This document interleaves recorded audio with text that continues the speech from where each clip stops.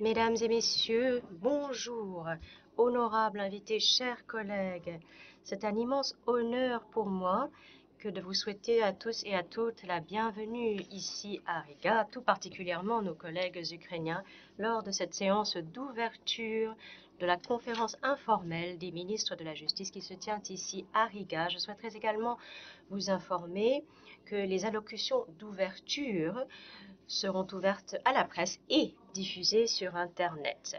La conférence sera interprétée à la fois en anglais et en français. Et j'aimerais tout d'abord donner la parole au président de la République de Lettonie, son Excellence Edgars Rinkevich. Vous avez la parole. Bonjour, Madame la Ministre, distinguée ministre, Madame la Secrétaire Générale, Monsieur le Président de l'Assemblée parlementaire, commissaire, Mesdames et Messieurs, je vous souhaite une très chaleureuse bienvenue à Riga. Je suis ravie d'ouvrir cette conférence, un événement phare de la présidence lettonne du Comité des ministres du Conseil de l'Europe. Cette conférence s'inscrit dans le prolongement du sommet de Reykjavik qui a eu lieu au mois de mai de cette année. Notre conférence aujourd'hui s'intéressera principalement à l'enjeu existentiel auquel l'Europe est aujourd'hui confrontée. Euh, je pense à la justice pour l'Ukraine dans le sillage de l'agression de la Russie et son invasion militaire à grande échelle. Avant d'aborder brièvement les thèmes principaux de cette conférence, je souhaiterais rappeler que le Conseil de l'Europe est la première organisation internationale ayant décidé de priver la Russie de sa qualité de membre. Cette position de principe adoptée par notre organisation a affirmé une fois encore notre attachement aux valeurs démocratiques et à la prééminence du droit international.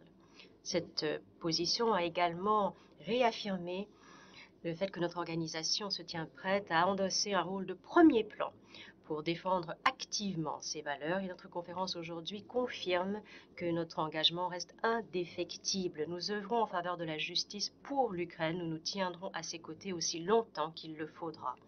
Mesdames et messieurs, pendant la conférence aujourd'hui, nous allons aborder des thèmes qui représentent les piliers de la justice, la responsabilité, la résilience et l'espoir. Tout d'abord, quant à la responsabilité, la Russie a violé de manière brutale le droit international. Elle doit dès lors assumer une responsabilité pleine et entière. Et par cela, j'entends à la fois la responsabilité de l'État russe et la responsabilité individuelle des responsables russes qui ont lancé cette guerre d'agression contre l'Ukraine. Ceux qui ont commis les crimes de guerre et autres crimes gravissimes sur le plan international. La Russie doit également répondre pleinement des dommages, pertes ou préjudices infligés à l'Ukraine et à son peuple. Je salue le Conseil de l'Europe de la création du registre des dommages qui constitue une étape importante en vue de créer à l'avenir un mécanisme international de réparation. Le registre des dommages permettra de consigner de manière appropriée et de documenter la dévastation causée par la Russie en Ukraine. J'appelle tous les pays qui ne l'ont pas encore fait à adhérer au registre et de témoigner ainsi de leur solidarité avec l'Ukraine et de, leur soutien à l'Ukraine. Pendant sa présidence du Conseil de l'Europe, la Lettonie s'est montrée déterminée à faire progresser le lancement opérationnel du registre. Je me félicite de l'intention des ministres d'adopter aujourd'hui une déclaration qui énoncera les principes qui guideront le fonctionnement du registre, les principes de RICA. Je me félicite tout particulièrement de l'accent qui est mis sur une approche axée sur les victimes. Nous devons veiller à ce que les victimes, notamment les plus vulnérables, telles que les femmes et les enfants, restent au cœur de nos efforts. Deuxième thème, la résilience. Le système judiciaire de l'Ukraine porte à l'heure actuelle un fardeau écrasant. L'Ukraine continue à garantir la justice et la prééminence du droit, notamment en enquêtant sur les crimes commis par la Russie. En continuant à garantir des procès équitables, l'Ukraine fait clairement la preuve de ses valeurs et de la robustesse de sa démocratie. J'encourage les États membres du Conseil de l'Europe à offrir leur soutien au plan d'action pour l'Ukraine, résilience, relance et reconstruction. La Lettonie y a déjà contribué financièrement.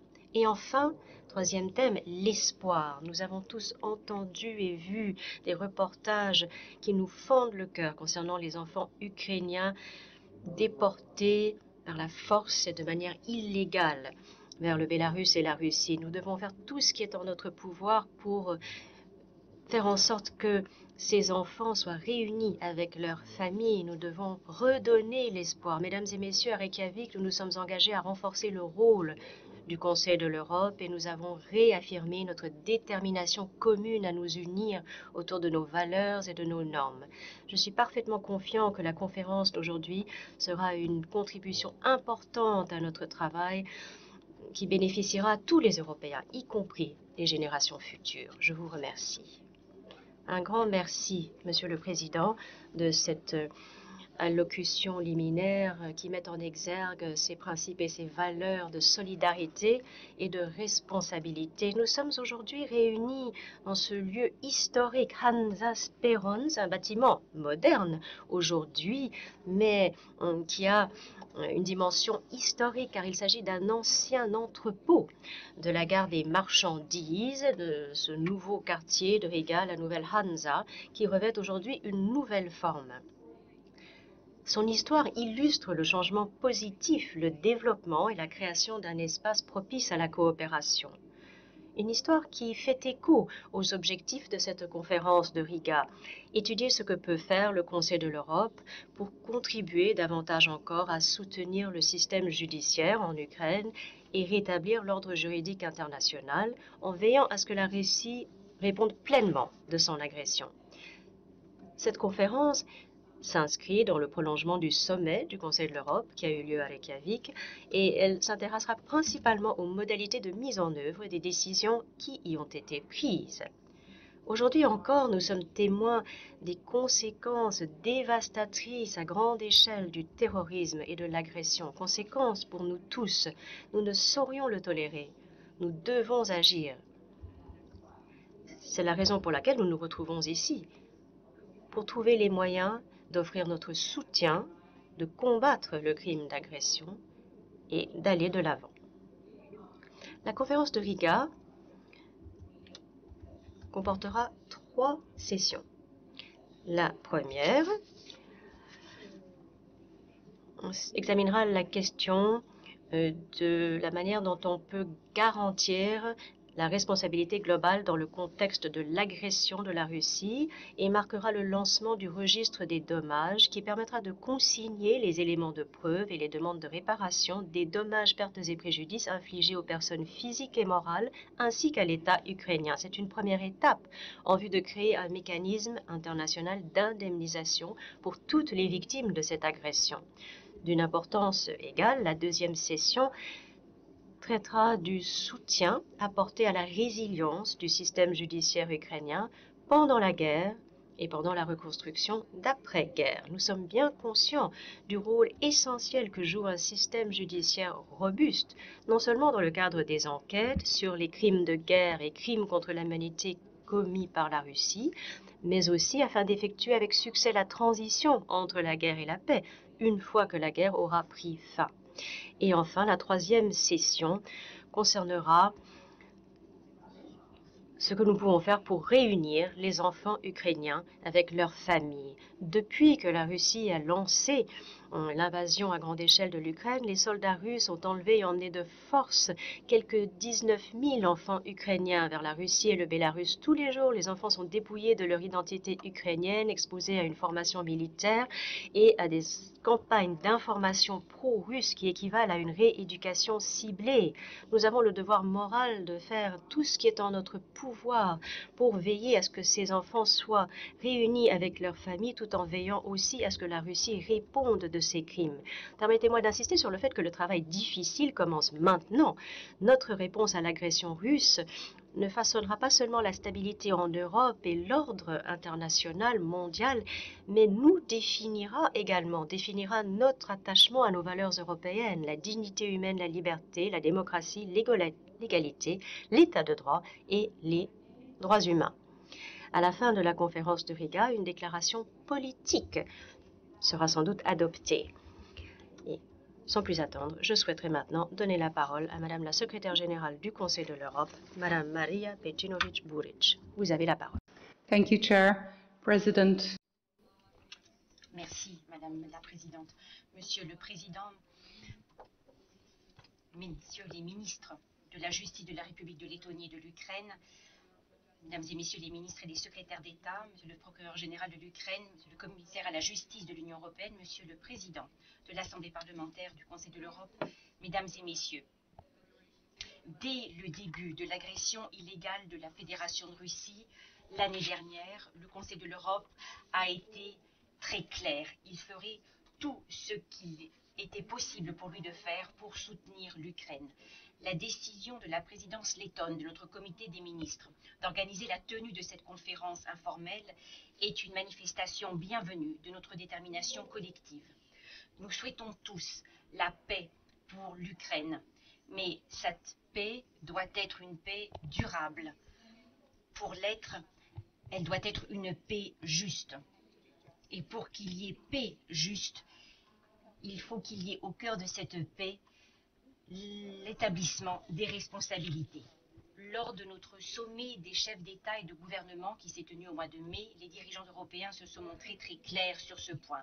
Leur déclaration de Reykjavik lance un appel pour qu'il y ait complète redevabilité et prise de mesures concrètes. Parmi ces mesures, la création d'un registre des dommages au Conseil de l'Europe pour qu'il y ait consignation des pertes et des destructions infligées par la Russie quatre mois plus tard. Ce registre compte 44 membres venus de trois continents dans l'état actuel des adhésions. Ce registre compte un directeur exécutif, un secrétariat et la seconde réunion de sa conférence des partis se tiendra ici demain. Lors de cette réunion, des décisions importantes seront prises, notamment la décision portant établissement de son conseil. Ce registre se trouvera à La Haye il y a d'ores et déjà un bureau, il y aura bientôt ouverture d'un bureau à Kiev.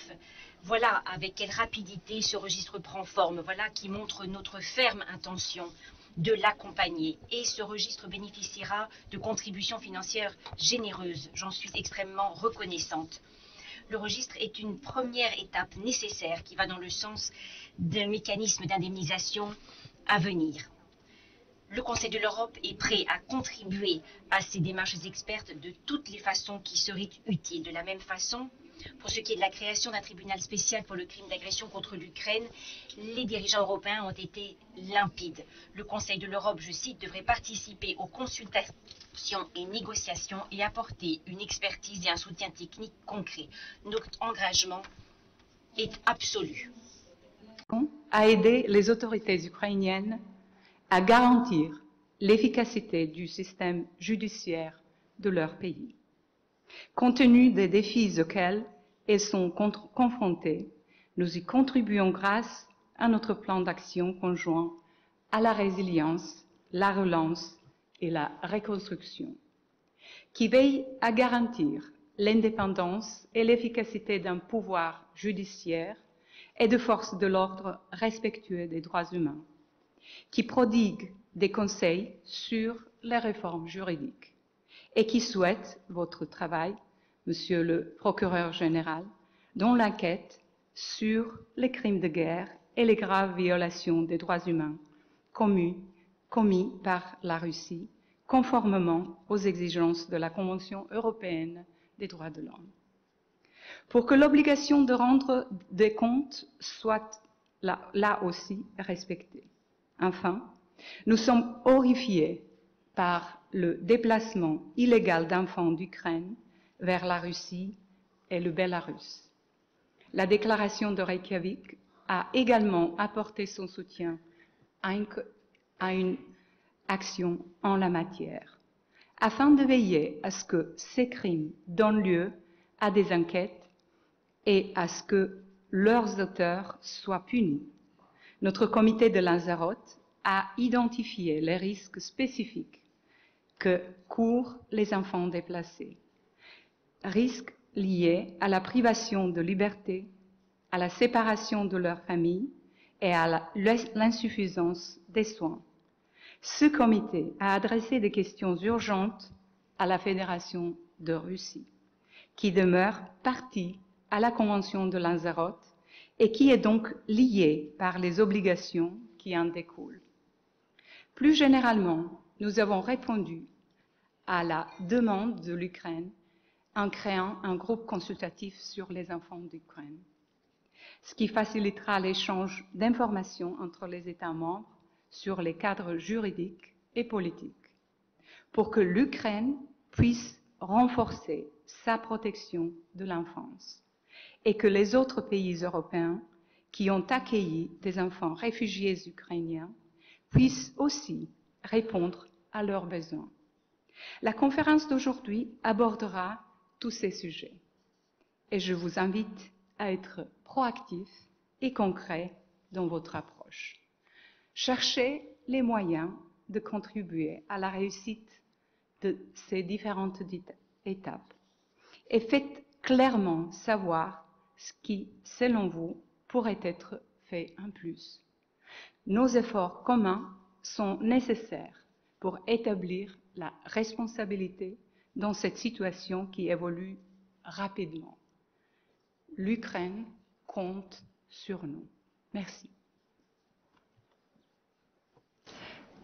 Thank you, Maria. Yes, Ukraine, you can count. Merci beaucoup, Maria. Oui, l'Ukraine peut compter sur nous. Je me tourne maintenant vers Monsieur Tini Cox, le président de l'Assemblée parlementaire du Conseil de l'Europe. Je vous en prie, monsieur. Merci beaucoup, madame. Merci, monsieur le président. Merci beaucoup à la secrétaire générale du Conseil de l'Europe. Je commence par exprimer toutes mes condoléances à toutes celles et ceux qui sont devenus les victimes de cette catastrophe naturelle qui a frappé notre État partenaire, le Maroc. Une catastrophe naturelle qui entraîne des conséquences dévastatrices pour ceux qui se trouvent au Maroc. Et je n'oublie pas ces catastrophes qui sont le fait de l'homme. Je pense ici notamment à l'agression menée contre l'Ukraine par la Fédération de Russie. Nous sommes ici pour en discuter. Merci de m'avoir invité à prendre part à cette conférence en tant que président de l'Assemblée parlementaire du Conseil de l'Europe. Je souhaite remercier la présidence lettonne du Comité des ministres, le ministère letton de la justice et particulièrement vous, Madame la Ministre, d'avoir mis cette question au rétablissement de la paix en Ukraine au cœur des priorités de la présidence lettonne du Comité des ministres. Merci infiniment de cette démarche. Je suis heureux de représenter notre Assemblée à cette conférence parce que c'est notre Assemblée qui, dès le mois d'avril 2022, a posé la question de l'attribution des responsabilités dans le cadre de tous les actes illicites perpétrés par la Fédération de Russie contre l'Ukraine. Nous avons à l'époque adopté à la quasi-unanimité nos deux résolutions sur les conséquences de l'agression persistante de la Fédération de Russie contre l'Ukraine sur l'établissement des responsabilités, où nous avons énoncé tout un ensemble de propositions demandant la création d'un système d'établissement complet des responsabilités pour que justice soit rendue pour les crimes commis par la Russie en Ukraine et contre l'Ukraine. Ces propositions comptaient pour la première fois depuis le début de l'agression russe l'idée selon laquelle il fallait mettre sur pied un tribunal spécial ad hoc pour le crime d'agression. Ces idées étaient à l'époque considérées par d'aucuns comme par trop polémiques, par trop ambitieuses on les accusait d'être privés de toute démarche réaliste, mais aujourd'hui, elles font partie intégrante de la réflexion et elles sont évoquées en des termes extrêmement pratiques au sein de différentes enceintes internationales. Et je suis ravie de voir qu'un grand nombre de ces propositions prennent désormais forme et je vous suis très reconnaissant à vous, mesdames et messieurs les ministres, mesdames et messieurs les chefs d'État, des États membres du Conseil de l'Europe qui les avaient entérinés lors du quatrième sommet du Conseil de l'Europe qui s'est tenu tout récemment. Je suis très reconnaissant à l'ensemble du comité des ministres qui s'est montré décidé, courageux au moment d'entériner nos idées et qui a travaillé si dur pour leur donner forme concrète. C'est extraordinaire. Mais il est important de se souvenir de ce que j'ai dit à de nombreuses reprises. Cette guerre en Ukraine ne doit jamais devenir euh, quelque chose qui nous semble normal et nous n'oublions jamais qu'alors que nous jouissons de cette vie pacifique en Europe, le peuple souverain ukrainien souffre et meurt chaque jour.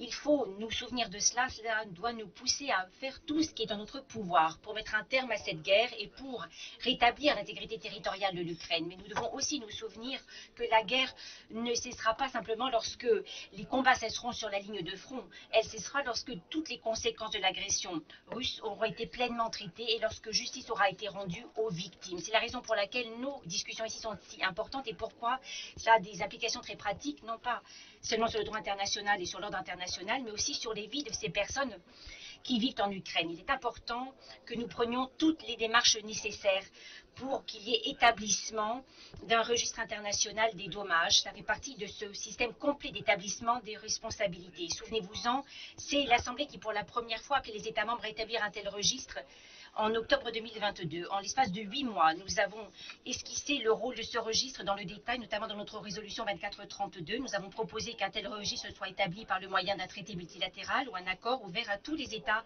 partageant les mêmes idées et soutenu par des organisations internationales parmi lesquelles l'Union européenne.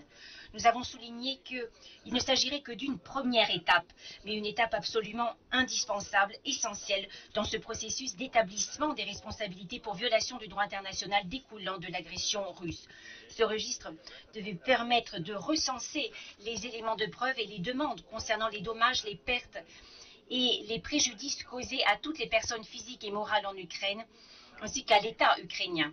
Chers amis, nous devons désormais travailler pour compléter ce registre en l'accompagnant d'autres éléments indispensables qui permettront qu'il y ait mis sur pied d'un système complet de redevabilité. Il faut que la Fédération de Russie rende pleinement compte de ces actes illicites et répréhensibles perpétrés en Ukraine.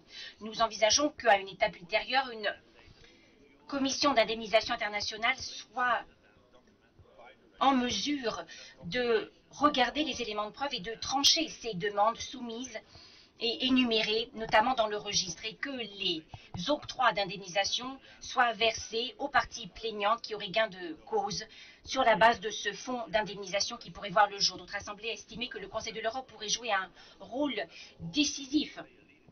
Un rôle décisif, et vous l'avez dit, Madame la Secrétaire Générale, cela a déjà été fait en ce qu'il y a eu première étape franchie, il y a un début euh, de démarche entreprise et s'il devait y avoir mécanisme d'indemnisation, eh bien, le Conseil de l'Europe jouerait là aussi un rôle décisif. Et je vous encourage, mesdames et messieurs les ministres, à vous appuyer sur cette création de registre qui a été menée avec succès, à vous appuyer sur le travail fait par l'Assemblée parlementaire et par le Conseil de l'Europe. Je vous encourage à prendre les mesures nécessaires pour que le registre soit la pierre angulaire sur laquelle d'autres institutions internationales peuvent assurer que la justice soit rendue en Ukraine et envers le peuple ukrainien. Il est également urgent de mettre sur pied un tribunal international ad hoc pour connaître du crime d'agression, une idée qui a été mise en avant par notre Assemblée parlementaire et qui a ensuite reçu le soutien des chefs d'État et de gouvernement lors du quatrième sommet du Conseil de l'Europe. Je vous invite à envisager les mesures qui permettraient qu'il y ait réel progrès dès lors qu'il s'agit de donner forme aux décisions prises lors de ce sommet. Je vous le garantis, l'Assemblée parlementaire vous soutiendra absolument et vous offrira son plein soutien dans vos démarches. Enfin, je suis convaincue que si nous sommes unis, tous et toutes aux côtés de l'Ukraine, nous pourrons honorer les promesses faites à Reykjavik et nous pourrons aider à ce que justice soit rendue aux Ukrainiens. Nous pourrons aider à ce qu'il y ait établissement des responsabilités eu égard aux multiples violations du droit international dont s'est rendue coupable la Fédération de Russie. Je pense également au droit humanitaire international. L'Assemblée a pris la parole, prendra toujours la parole pour soutenir la mise sur pied d'un système complet d'administration de la justice vis-à-vis de l'Ukraine et nous soutiendrons le travail du registre qui est une première démarche essentielle pour atteindre cet objectif. Merci beaucoup, Madame. Un grand merci, Tini. C'est un immense honneur pour moi maintenant que de donner la parole au ministre de la Justice de l'Ukraine, M. Denis Mayushka. Vous avez la parole. Un grand merci. Distingué président, secrétaire général, ministre, chers collègues et amis, tout d'abord, permettez-moi de remercier la Lettonie d'avoir organisé cet extraordinaire événement mettant l'Ukraine au cœur de nos discussions communes. Nous, sommes très reconnaissants, nous vous en remercions de tout cœur et j'aimerais saisir cette occasion également pour remercier tous nos partenaires, tous les États membres, nos voisins, tous les pays qui nous aident et qui nous prêtent main forte pendant cette guerre. Et au nom de notre gouvernement, du gouvernement de l'Ukraine, un immense merci pour tout le soutien accordé, toute l'assistance que vous nous accordez, toute votre aide. Sans vous, nous ne serions pas en mesure euh, de lutter, de combattre et de résister à cette invasion euh, par la Fédération de Russie de l'Ukraine avec tant de succès. Un immense merci. Nous y sommes très sensibles. Pour revenir aux thèmes qui vont nous intéresser aujourd'hui, j'aimerais mettre en exergue le fait qu'à l'heure actuelle, l'Ukraine mène deux combats de front. Tout d'abord, une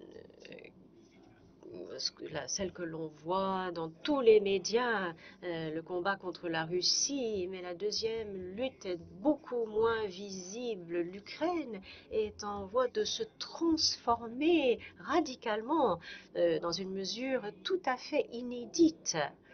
L'Ukraine a voté, adopté et mis en œuvre bien plus de réformes qui sont une réelle transformation depuis le début de la guerre que par le passé, euh, dans toute l'histoire de l'Ukraine. Euh, comment dire, on peut, enfin, il faut voir que cela s'inscrit dans notre souhait d'entamer notre processus d'adhésion à l'Union européenne. En vue de devenir membre de l'Union européenne, nous devons, c'est évident, nous conformer, respecter à toutes les valeurs qui sont celles de l'Union européenne, notamment l'état de droit et aussi les conditions imposées par nos partenaires, grandes institutions financières internationales, bailleurs de fonds, qui nous offrent un soutien financier conséquent. Euh, pour vous donner un exemple, l'Ukraine est le seul pays au monde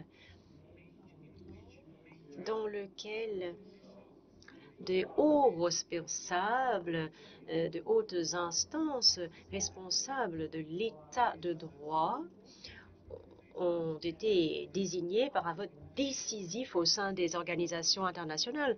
D'un point de vue technique, nos partenaires internationaux peuvent nommer, désigner et exercer leur veto quant à la désignation des plus hauts responsables de notre société, notre magistrature, au Conseil de la magistrature, euh, les juges et instances responsables de la nomination, désignation, euh, des juges ainsi euh, que de leur euh, récusation. Donc cela s'applique à nos juges, à notre Agence nationale de lutte contre la corruption et une réforme toute récente, mise en œuvre il y a quelques semaines, a pour conséquence que les juges auprès de la Cour constitutionnelle seront également euh, sélectionnés pour faire l'objet d'un veto, seront pour ainsi dire filtrés euh, par une commission où siègent des représentants des instances internationales et ces représentants ont une voix décisive d'ailleurs. Bon, ce n'est pas un grief, on ne s'en plaint pas, mais cela illustre à quel point euh, nous sommes entièrement transparents vis-à-vis de nos partenaires pour ce qui est de nos méthodes de travail, nos procédures, euh, nos difficultés en interne et en externe. Donc tout cela est euh, entièrement transparent pour vous montrer que nous sommes un partenaire fiable dans cette grande famille européenne, un partenaire fiable et un partenaire de taille. Donc ça, c'est une partie de tout ce qui se passe aujourd'hui en Ukraine. Euh, pour le reste, euh, vous le savez, vous le voyez au quotidien, euh, nous sommes en pleine guerre, un nombre immense de crimes de guerre ont été commis sur notre territoire, des centaines de milliers de personnes sont devenues victimes de crimes de guerre ou autres crimes perpétrés par les Russes, les forces russes sur le territoire ukrainien et nous avons hâte euh, qu'un mécanisme global de réparation euh, soit instituée pour que la Russie réponde de ces crimes commis sur le territoire ukrainien, que ce soit la dimension pénale, nous mentionnerons, je mentionnerai comme grande réalisation le mandat d'arrêt délivré pour Poutine, mais aussi la création d'un tribunal pour le crime d'agression, la poursuite des procédures devant la CPI, la création d'un fonds d'indemnisation comme prochaine étape, des commissions d'indemnisation qui pourront s'inscrire dans le siège de tout ce qui a été réalisé lors du sommet de Reykjavik sous l'égide du Conseil de l'Europe. Donc nous appelons à la création de ces instances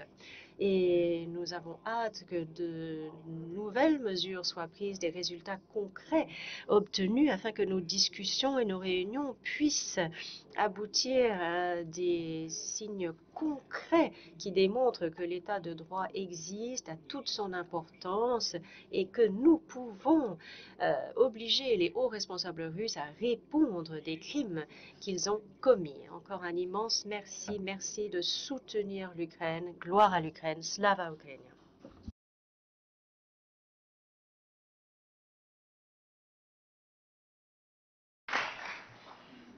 Thank you, Dennis. And now the Merci beaucoup, Denis. Je donne à présent la parole au procureur général de l'Ukraine, Monsieur Andriy Kostin. Je vous en prie. Merci beaucoup.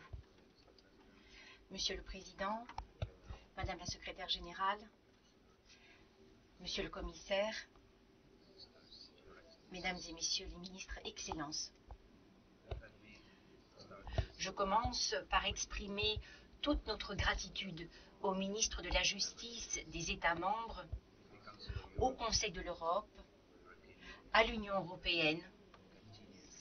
Nous les remercions de leur soutien continu, indéfectible, de leur coopération avec l'Ukraine depuis le mois de février 2022. Comme il est opportun que nous nous retrouvions ici en Lettonie, alors que nous parlons de cette voie qui mène à une situation où justice sera rendue à l'Ukraine. Car sous l'occupation soviétique, la Lettonie a elle aussi ressenti les conséquences de campagnes qui visaient à briser l'identité d'une nation, nation, qui visaient à soumettre le peuple à la terreur et aux atrocités. Aujourd'hui, nous en sommes les témoins. L'histoire se répète parce que la Russie, dans une large mesure, n'a pas à répondre des atrocités qu'elle a commises par le passé. Le chemin est très long qui mène au plein établissement des responsabilités de la Russie envers l'Ukraine. Cependant, nous avons accompli de vrais progrès au moment d'aller de l'avant, non pas seulement sur les plans techniques et juridiques, mais aussi parce que nous avons pu exprimer notre volonté collective, nous avons pu faire face ensemble et renforcer cette volonté collective de faire en sorte que justice soit rendue être unis aux côtés de l'Ukraine, c'est être unis pour que justice soit rendue. Nous en sommes convaincus, l'établissement des responsabilités est une condition prérequise pour qu'une paix durable, pour qu'une stabilité durable s'installe, notamment lorsqu'il s'agit de crimes internationaux. C'est la raison pour laquelle nous mettons tout en œuvre pour rétablir la justice et pour briser le cycle de l'impunité par l'attribution des responsabilités à l'échelle des individus et de l'État. Les mandats d'arrêt de la Cour pénale internationale visant le président Poutine et le soi-disant commissaire aux droits de l'enfant, Mme Bova-Belova, ont montré à toute personne dans le monde que personne n'est ni ne sera au-dessus des lois. Nous continuerons à demander aux auteurs de ces atrocités de rendre compte de leurs actes. Ces atrocités qu'ils ont commises, ils devront en rendre compte conformément aux principes du droit international. Vous le savez, nous voyons ces premiers mandats d'arrêt comme étant vraiment historiques. Pas seulement parce qu'ils visent le président en exercice de la Fédération de Russie, parce qu'ils visent un membre en exercice du Conseil de sécurité des Nations Unies, mais aussi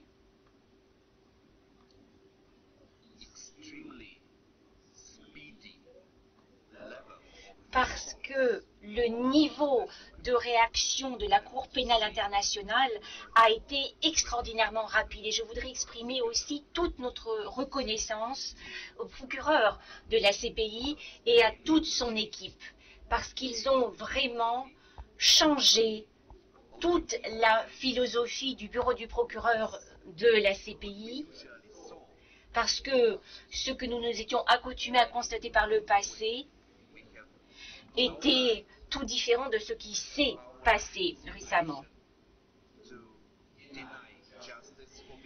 Nous ne pouvons pas refuser que justice soit rendue aux victimes et aux survivants tout simplement parce que la justice prendrait trop de temps. Non.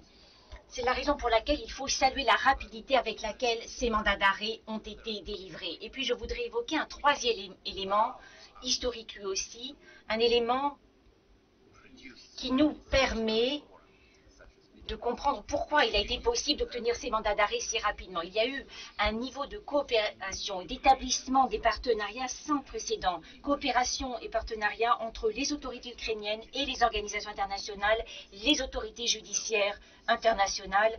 Nous le savons, je parle ici de la CPI. Du fait de cette coopération, du fait de cette pleine transparence, nous, et je l'ai dit à plusieurs reprises, nous avons eu besoin de cinq mois pour constituer le dossier qui nous a permis d'obtenir ce premier mandat d'arrêt. Et jamais auparavant, dans l'histoire de la CPI, les choses ne se sont faites ainsi. Et nous nous sommes engagés à aller de l'avant pour constituer du dossier dans le cadre de nouvelles affaires qui permettront, je l'espère, l'obtention de nouveaux mandats d'arrêt. Et j'espère que vous pourrez voir les résultats de nos efforts dans les temps à venir. Ce qui est le plus important, c'est que l'attribution des responsabilités commence par cette étape où il y a compréhension et réparation pour les pertes, les dommages et préjudices infligés aux victimes et aux survivants, ainsi qu'à l'État victime. C'est la raison pour laquelle la réparation est une obligation juridique qui incombe à l'État responsable, la Fédération de Russie, qui est responsable des préjudices la création du registre de dommages avec l'aide du Conseil de l'Europe est une première étape qui va dans le sens de la mise sur pied d'un mécanisme d'indemnisation internationale qui pourra garantir à ce que chacune et chacun ait accès à la pleine réparation. Les efforts d'aujourd'hui sont les éléments fondateurs d'un tel mécanisme. Le peuple ukrainien peut lui aussi être le témoin de ces progrès pour ce qui nous concerne, nous visons à contribuer à ce processus de réparation tout en étant pleinement conscients des besoins des victimes et des survivants de ces crimes atroces. Nous devons être sensibles à la situation de ces victimes et survivants et il faut aussi trouver des solutions qui sont placées sous le signe du volontarisme. Le registre national des victimes et des survivants des crimes et des atrocités s'inscrit dans le cadre de cette démarche. Nous sommes reconnaissants au ministre de la Justice et au Conseil de l'Europe d'avoir traité de cette question au sein de la déclaration et nous espérons que la communauté internationale nous permettra de traduire ces éléments dans la pratique pour reconstruire l'Ukraine, pour demander à la Russie de rendre des comptes, pour empêcher qu'il y ait à l'avenir d'autres actes d'agression. Telles sont les tâches qui nous attendent et je suis impatient d'en discuter avec vous aujourd'hui. Merci.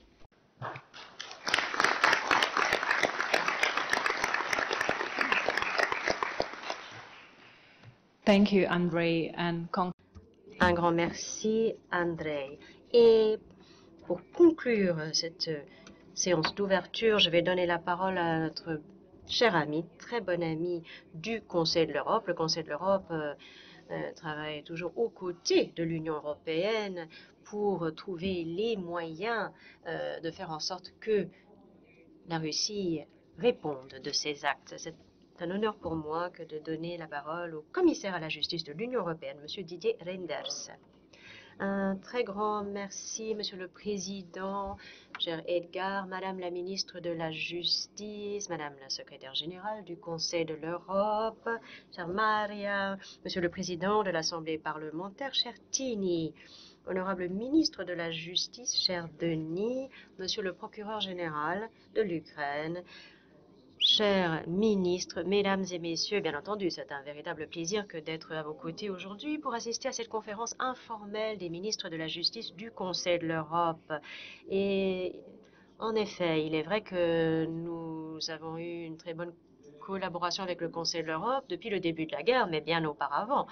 Aussi, aujourd'hui, nous allons aborder les prochaines étapes dans nos efforts collectifs visant à garantir une responsabilité intégrale, globale, pour les crimes commis pendant la guerre d'agression menée par la Russie contre l'Ukraine. Et j'aimerais tout d'abord exprimer mon admiration pour le rôle important que le Conseil de l'Europe continue à jouer promouvoir cette cause. Et à cet égard, j'aimerais vous féliciter tout particulièrement de la tenue du sommet de Reykjavik, un sommet historique qui a eu lieu au mois de mai de cette année et qui a montré une profonde unité entre les États membres en vue de défendre les, les valeurs essentielles de l'organisation en ces temps qui les mettent à rude épreuve. Et comme le dit la déclaration émanant de ce sommet, l'heure est venue de rester déterminé à renforcer l'ordre international libre et ouvert.